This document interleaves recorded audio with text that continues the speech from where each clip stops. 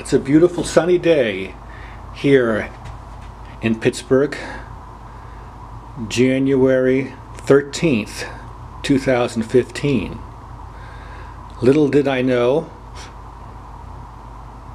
that right from my window you can witness the phenomenon of pollution and fumes escaping into the atmosphere literally 24 hours a day, 7 days a week, 365 days a year. I'm shooting today because this phenomenon is much more visible on a beautiful, bright, sunny blue day like today. So take a close look at the image of the McKees Rocks Bridge. That's that blue bridge there, right in the middle of the frame.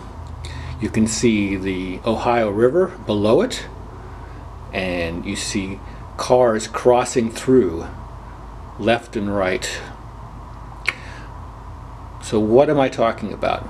Well, if you look very closely at the image of the bridge, you can literally see the imagery, the images flickering.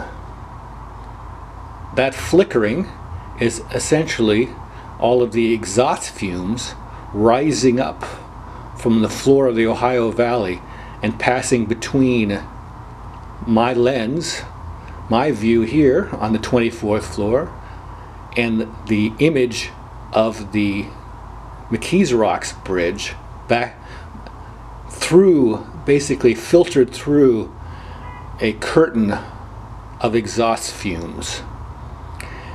Again, these are clear gases, unlike the white gases that you can see in the background. Those are e easily visible.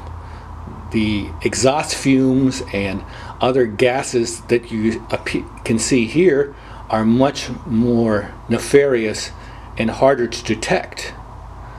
I just accidentally was able to see them through my telescope and realized that the image I was get, seeing of the bridge again was being distorted and refracted by the light passing through the gases.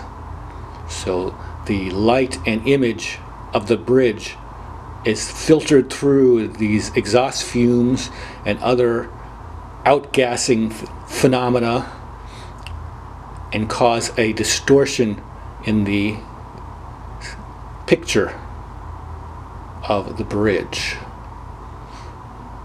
What is scary is this is a phenomenon that you can see literally 24 hours a day, 7 days a week, 365 days per year, just pumping those fumes into the sky, into the atmosphere.